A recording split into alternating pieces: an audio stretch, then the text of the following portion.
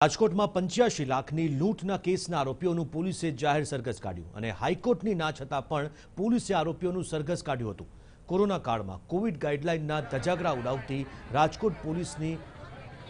આ કાર્યવાહી જોવા મળી જ્યાં કાયદેસર કાર્યવાહી છોડીને પોલીસ રોફ બતાવવામાં અને બેદરકારી દાખવવામાં મસ્ત જોવા મળી અને સામાજિક અંતર જાળવવાથી દૂર રહી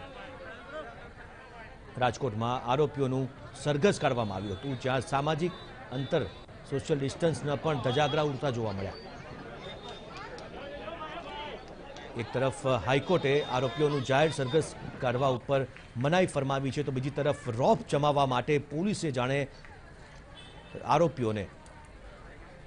રસ્તા ઉપર ફેરવીને જાણે રોફ જમાવતી હોય તેવું અહીં જોવા મળ્યું. પંચ્યાસી લાખની લૂંટ કેસના આરોપીઓ છે. અને તેમનું પોલીસે જાહેરમાં સરઘસ કાઢ્યું જો કે નવાઈની વાત એ છે કે મોટી સંખ્યામાં અહીં ભીડ પણ એકત્ર થઈ હતી જ્યાં સોશિયલ ડિસ્ટન્સ પણ જળવાયું નહોતું કોરોના કાળમાં આ રીતે સરઘસ કાઢવું અને ભીડ એકત્ર કરવી તે કેટલું યોગ્ય છે તે સવાલો પણ ઉઠ્યા છે અને તે પણ પોલીસ દ્વારા જ્યારે આ કાર્યવાહી આ પ્રકારે કરવામાં આવતી હોય ત્યારે પોલીસની કામગીરી સામે પણ અનેક પ્રકારના સવાલો ઉઠ્યા છે રાજકોટ પોલીસે આ ભીડ ભેગી કરી